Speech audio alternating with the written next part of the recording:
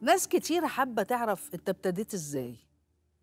منين وجاي يعني جيت منين والأسرة كان شكلها إزاي و... آه، اصلك ابتديت انت وصلت لنا م... م... م... متسبك. يعني بتغني حلو قوي متمكن جدا. آه، صوتك فيه بحة. يعني أنا فاكرة البدايات إنه.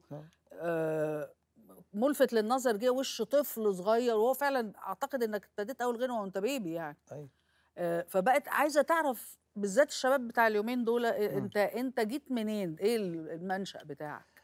أنا اتولدت في الشرقية مم. آه، بس أنا والدتي الله يرحمك يا رب الله و- وأبويا آه، كانوا سابوا الشرقية وعاشوا في آه، في القصيرين الزاوية الحمر. أوكي. فأنت عارفة طبيعي خلاص الست حامل فتروح تولد في بيتها بيت مامتها الله يرحمها فاتولد واتولدت هناك. مم.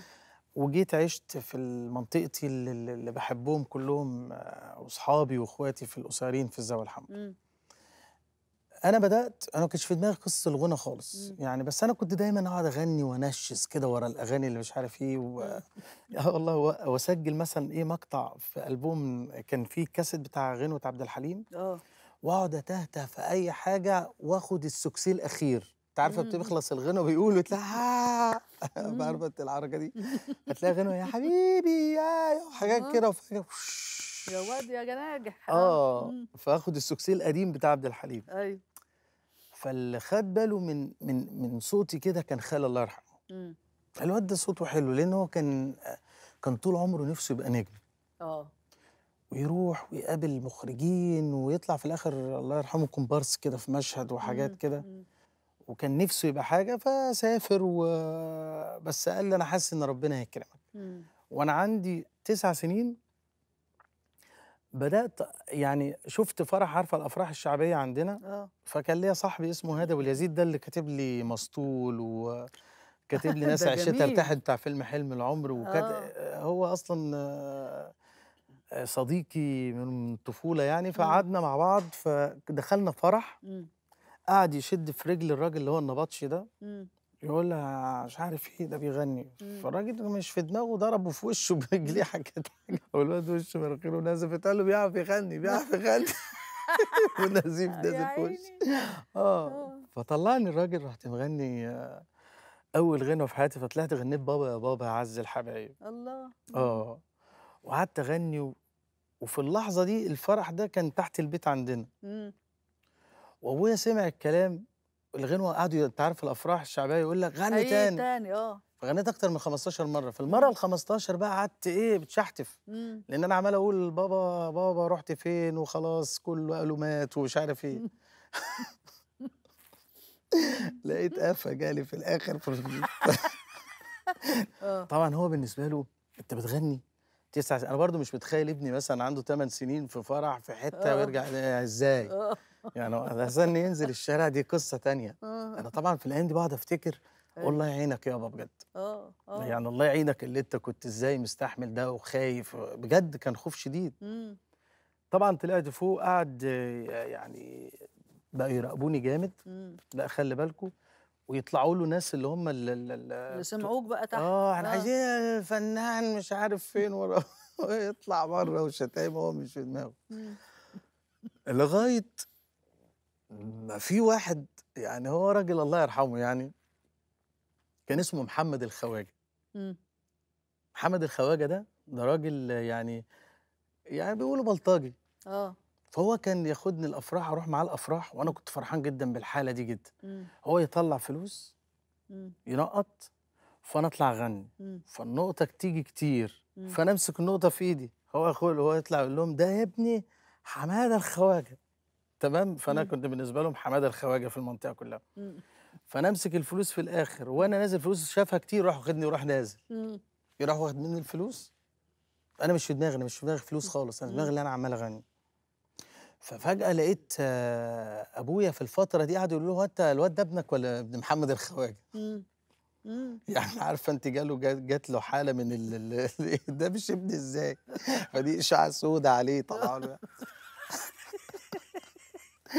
وفجأة مش هنسى المشهد ده كنا في فرح وهو فضل مراقبني بقى يعني. ابويا دايما ينام بدري وأنا كنت أنزل من وراهم يعني سامحني يابا على الفترة دي كلها يعني كنت إمم. أنزل من وراهم الساعة واحدة وأروح الأفراح اللي اللي كانت ورانا إمم. هو فضل مركز مع مين؟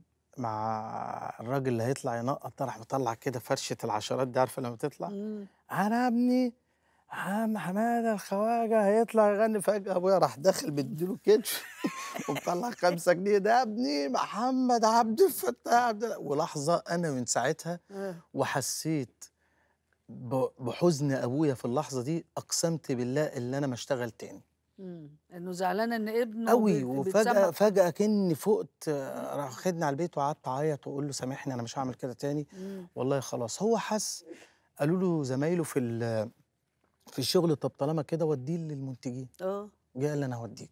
بقينا فعلا نروح فكنت أخرج بكسره خاطر. ليه؟ آه يعني كل منتج يقول لك لا يا عم ده صوته كمان أول ما يجي له أم- البلوغ إمم. هتلاقيه صوته بقى مخنشر وبتاع ما نعلمش. وكان وقتها المنتجين شوية يعني. صعبين قوي. فكنت أنا أخرج يكسروني كسرة مش هنساها.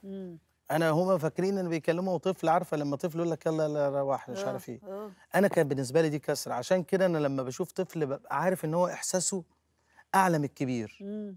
إمم. فده أكتر واحد طيب بخاطره جدا إمم. صح. آه والله ف... ف... فدي ما نسيتهاش لغاية ما أنا جات لي حالة اللي أنا بكره أي منتج لو إمم. جالي منتج كنت همسكه وأروح حاطه طوبة في وشه. فخدت القرار قلت له خلاص يا بابا أنا مش عايز ولا أشتغل ولا أي حاجة ففجاه لقيت وأنا يعني مش عايز أشتغل فجأة لقيت عم حسن إيش سمع عن صوت حمادة هلال. اللي هو كان حمادة الخواجة. فقال لي تعالى أنا هوديك أنت لحميد بتحكي لي فيلم على فكرة آه والله ما لقيت عملتوش فيلم ده ليه؟ لا والله لقيته بي... مسيرنا ل- مسيرنا لقيته أنا لقيته بيقول لي.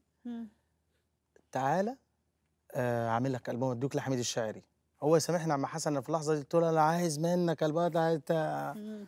أغاني إيه أنت عايز تضحك على المهم أنا كل ال- شاكك فيه ومش في أي حد الفكرة. خالص ما. عنديش فهو من كتر ما هو اللحظة دي راح واخدني إمم.